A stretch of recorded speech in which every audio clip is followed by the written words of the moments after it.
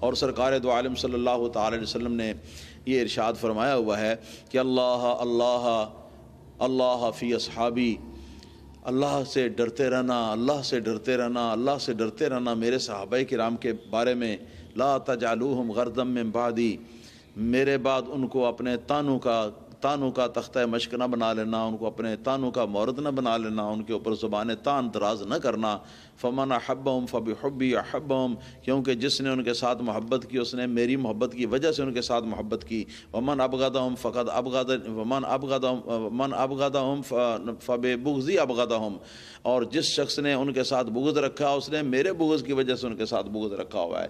یہ نبی کریم صلی اللہ علیہ وسلم نے فرمایا، اور ایک روایت میں یہ بھی آیا ہے کہ نبی کریم صلی اللہ تعالی علیہ وسلم ارشاد فرماتے ہیں، کوئی ایک صحابی، اگر میرا کوئی صحابی جو ہے، وہ ایک مٹھی بھر جو اللہ تعالیٰ کی راہ میں خیرات کرے۔ ایک روایت میں آتا ہے کہ ایک سیر ایک کلو سے کلو سے سیر ذرا تھوڑا سا کم ہوتا ہے، تقریباً آدھ پاؤ، دو چٹانک۔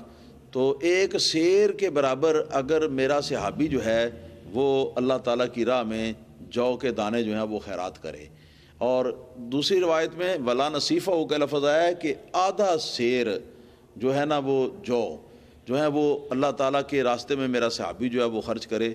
اور اس کے مقابلے میں جو غیر صحابی ہیں، صحابی نہیں ہیں، تو وہ اگر عہد پہاڑ کے برابر سونا جو ہے نا وہ راہ مولا میں خیرات کریں، ذرا اندازہ کریں کتنے کتنے وہ ٹن بنیں گے۔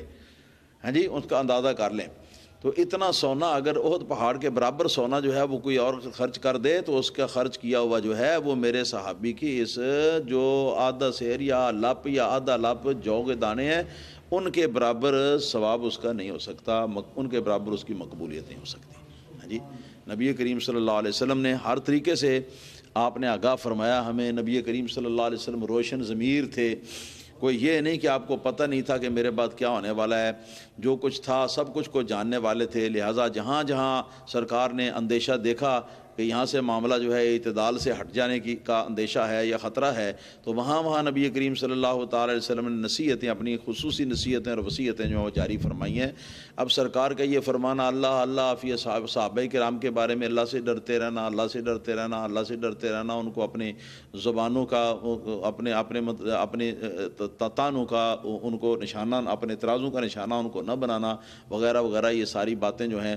پھر یہ کہ نبی کریم صلی اللہ تعالی علیہ وسلم نے ارشاد فرمایا ہے کہ میری امت کا سب سے بد وقت اور سب سے بدترین آدمی وہ ہے جو میرے صحابہ کرام کے خلاف بک بک کرنے میں زیادہ جری ہے۔